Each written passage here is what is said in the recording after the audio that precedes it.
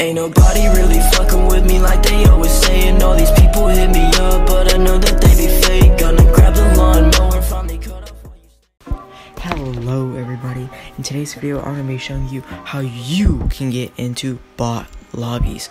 So let's get right onto this. But before I show you this secret, I want you to do three things, three easy things.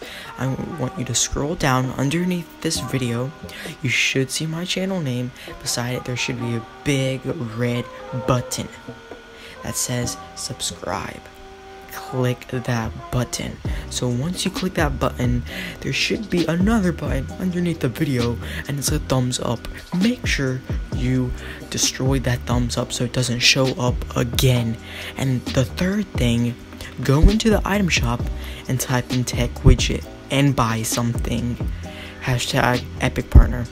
So let's get right onto this tutorial. The first thing that you want to do is you want to open up settings and then you want to go all the way there's actually two things that you can do so if you do one you'll get into semi bad bots if you do two you're gonna get into like fully decked out horrible players so let's get to it so you first thing the first method that it is is called hide your linked account names. You want to turn that on.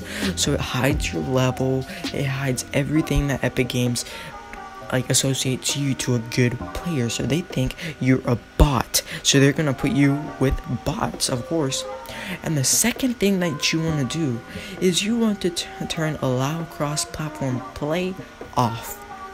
So it's gonna say um limited pool right there. Do you see that guys? So if you see that you have done these two things right. So if you go into a solos match it's gonna take you about 5 10 or 15 minutes to get into one match. But once you do they're gonna be all bots because they're 90 players.